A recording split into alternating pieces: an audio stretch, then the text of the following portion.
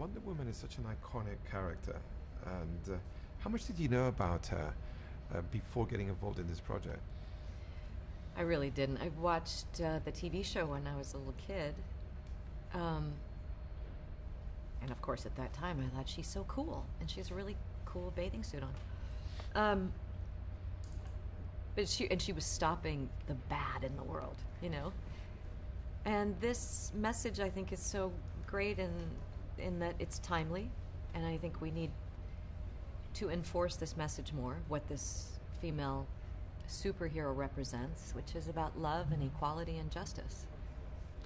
It's also um, a movie led by women, both in front and behind the camera. How did it feel for you to be a part of that? So great. So great. And to be a general of the Amazonian army, army come on, couldn't ask for anything better. Who is this general? Um, what is she like? She was born to um, create fierce warriors in this community of Themyscira that's, that is a unisex nomadic tribe of women, right?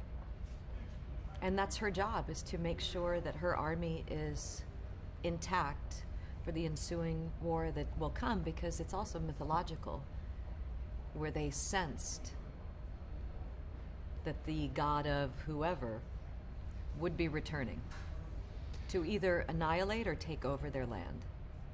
How's the relationship of your character with his with her sister, who's the queen?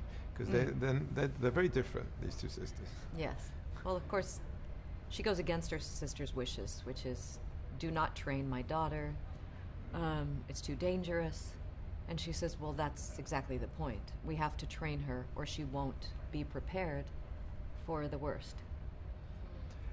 And uh, what's the relationship back like with your with her daughter? Because you are training her secretly. She looks up to you, right? Right. How is that? And how important do you think that her aunt is in her life? I mean, it always seems to be someone other than your mother or your father that is the mentor anyway. So I think it unfolds beautifully, where it's the wink, don't tell your mom, but. And then she confesses, right? She's like, I had to do this. Please trust me.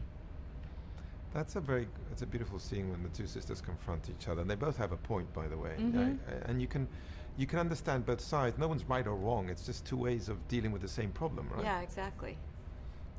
What, how was it like to shoot opposite Connie Nielsen?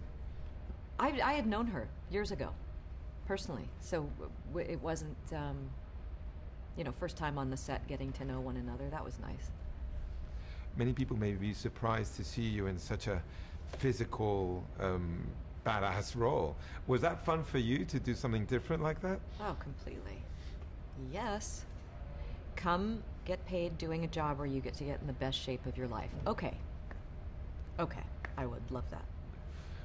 But I'm sure you must have gone through um, quite a preparation there. What, how did you prepare that role? All of us did uh, horseback riding training, weight training, and martial arts training. And choreogra- all the battle scenes were choreographed. And we were all training together. Over a hundred of us. How was that? It was amazing. It was like going away to girls' camp.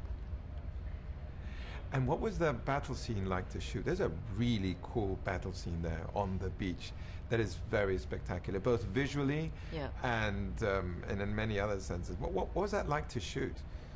Well, we shot with, you know, not not only Patty, but a, a second unit director who uh, did all the battle sequences for the movie 300. So he knows how to film a fight. Is my point. I think Gal Gadot. I can't imagine anyone else in this role. She's but her. perfectly cast. She's great because she is she's strong and she's so present, right? She's such a light and she is willful, which this character is. Um, she's just the sweetie pie. She's great.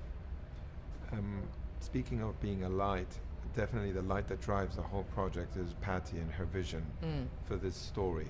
You worked with some amazing filmmakers in, in your career, but what can you say specifically about Patty?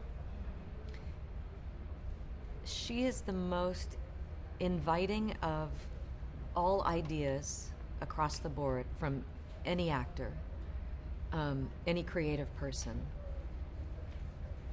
and a cheerleader at the same time. So she's like, Yes, I have a vision, and I want you to emulate this for me. And then when you give it to her, she is just elated. I've never really seen you in a in a superhero movie like this before. Probably, Um, yeah, probably because it's never never happened before. I know. yeah. I know, but um, I was wondering, this being your first experience, um, what, how do you look back at it now? that I got the opportunity to do that at this age is pretty great, pretty great, and and it be supporting the theme of this movie, personally also, right? What it's about, what it represents. What does it represent for you? Because the, the, this is much more than just an action, cool movie. There's there's some interesting messages here, and I think even today. But I would like to know your opinion. What what what spoke to you about it? Really, what resonates about the character of Wonder Woman and why she exists is to make a better future for humankind. And that means eliminating war and hate. Uh, so it's about love and equality and justice um, for a better future in our world. And I think that's relative to today. Isn't it wonderful to throw out in such um, a devastating time period of humanity, like like First World War, someone that is so pure? N- I wouldn't say naive, because she she can hold her own, but definitely pure. It's pure. It's, it's purity. Don't you think that contrast is beautiful? It is beautiful, and that's we need more of that. I think people need to just keep remembering. Get back in touch with your purity, which is human. It's humanity. Reminders of that uh, all the time are good.